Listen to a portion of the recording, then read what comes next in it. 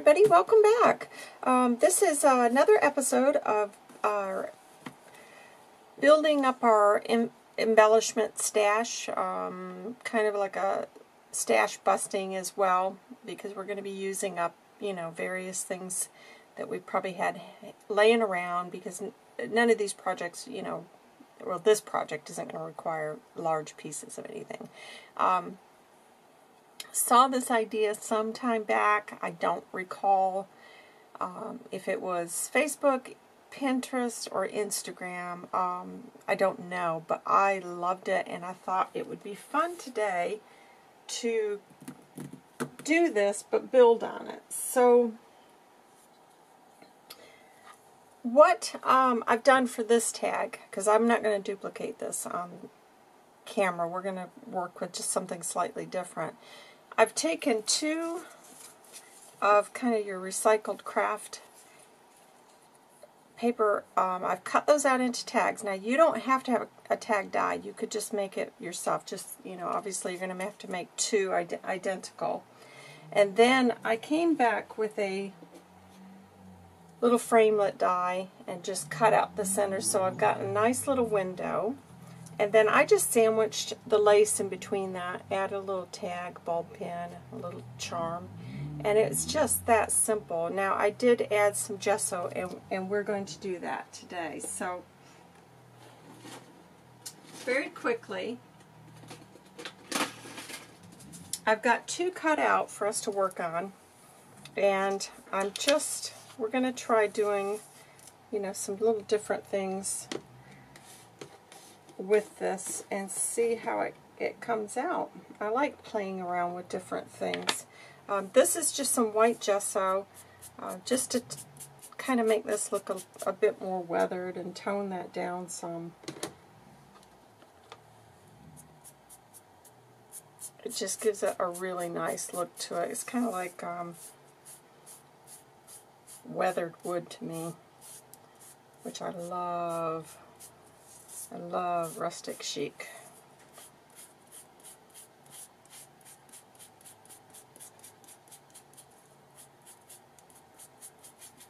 And then we'll come back over it with a little bit of ink to distress that a little bit more. And you can just add as much or as little as you want.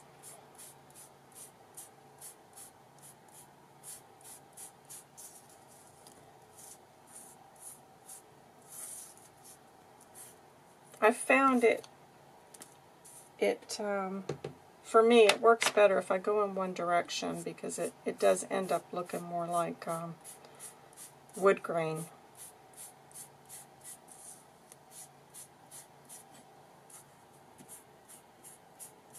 Okay, that's, I think that's good. That's enough. So, if you've been following me you will remember on my YouTube channel, we created some of these scrappy uh, bits of fabric.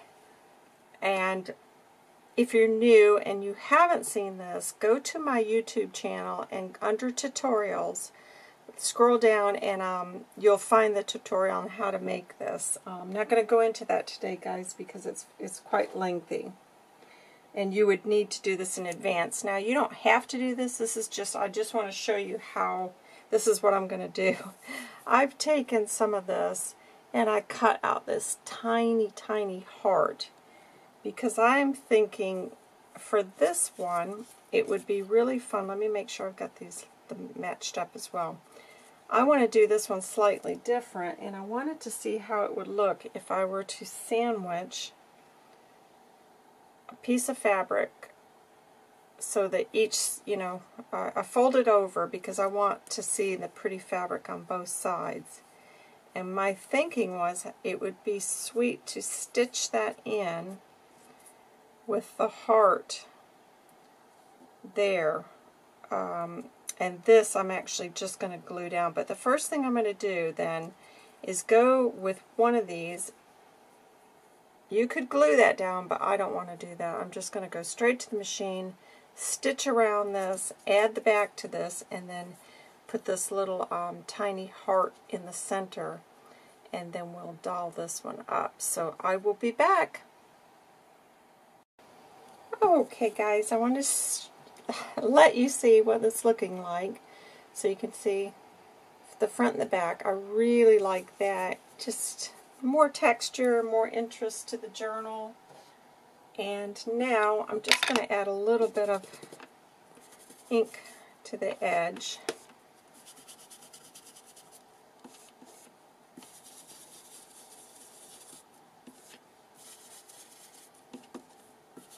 Yeah, I really like that. Okay, so now I've decided I want to, sorry, I'm trying to get my needle and thread. I'm going to stitch this dinky little tiny button that I found. I love the tiny, tiny buttons. Don't have a whole lot of them, but um, gosh, when I run across them, I get so excited because I love the tiny ones tiny ones and then of course the big big giant size but I think what I want to do is just stitch that tiny button right up in that corner no I just um, now you don't have to use this you could use uh, a cutout heart from paper um, just regular fabric cutout you could use a book page there's just so many things, so don't get hung up. But if you do think you're interested in how to make this um, using your scraps, then you just pop over to YouTube and you'll see that uh, tutorial for that.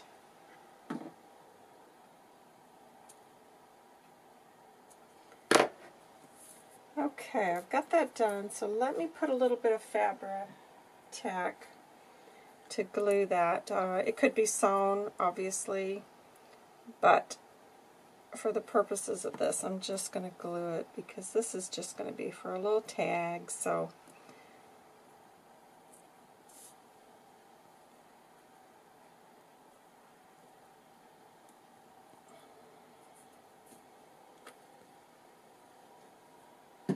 Okay, so we've got that. Now we need to sort out a pretty ribbon, and I don't know if I want to use.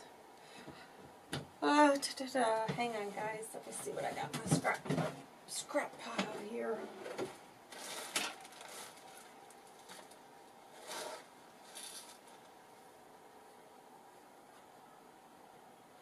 Okay, I've got some of this. I'm just going to cut that and then cut it down the middle.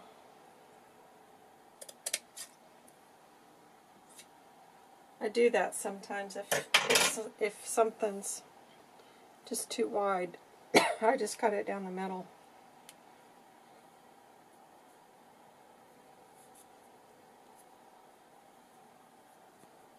And then that way it'll be kind of a tatty edges, you know, a little bit of unraveling. Let me grab my thread.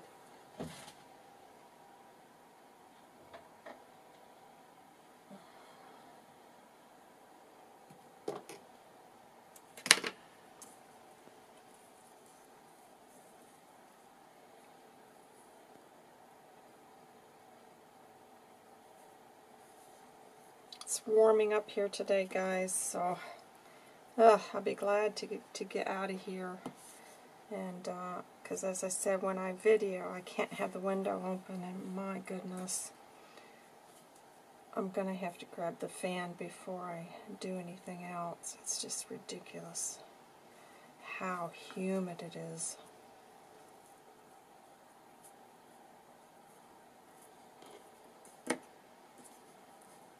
Okay. Loving that. Love love loving that So, the other thing I thought, I don't know, I thought about the bulb pin with a couple of buttons. I think I want to add that. I think that would be cute. If it's if I find it's too much when I put it into whatever journal it makes its way to, I can always take it off. Oh, I like that. Very sweet. You could even, you could stamp uh, friend for you Wouldn't that make a beautiful little uh, gift card tag? And you saw how quick and easy. So let's go ahead and make another. And I'm hopefully, you know, you're getting some ideas. Thinking in terms of what you could do just to make these a little bit different. Um, okay, so we've got that. Let's do one with just a book page.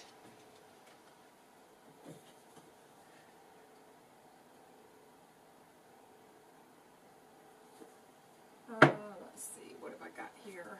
Sorry guys, I'm trying to find a... I know, like she doesn't have a book page handy. I've only got a hundred thousand pages probably. But um, I don't know, sometimes you just gotta have the right the right page, don't you? Um, and yeah, you start uh, doing these and I don't know about you. I start gluing stuff down and then you can't help but read. And then you think, oh no, I didn't realize that said that. And it's not really appropriate for that kind of a project. And then you end up, it just ends up taking so much longer. Um,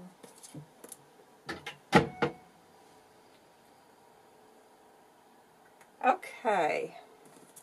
So what I thought on this one is just something completely different. Is we're going to just get, let me make sure the word's okay. Just want to make sure I get the wording straight. And I thought this one would be cute, just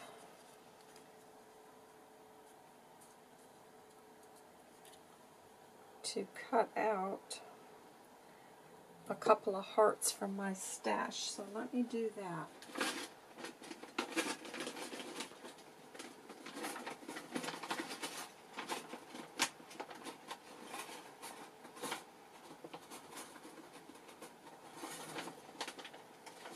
So what I've got is, um, you know, the graduated framelits. So I'm going to do um, two hearts cut out in some scrapbooking paper. In fact, I'll pull it over.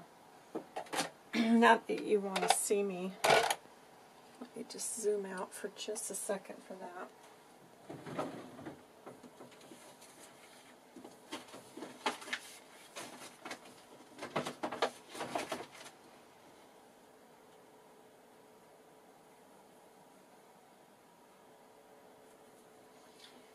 Okay, so here's just two bits of scrap that I've got. Um,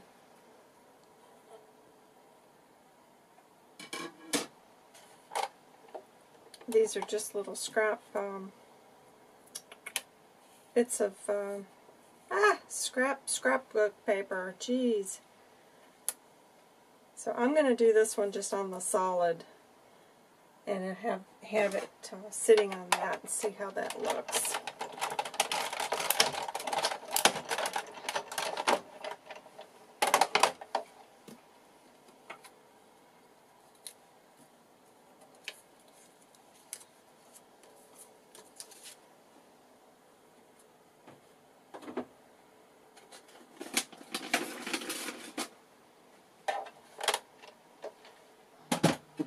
Okay, let me get this out of the way, guys. Nearly done.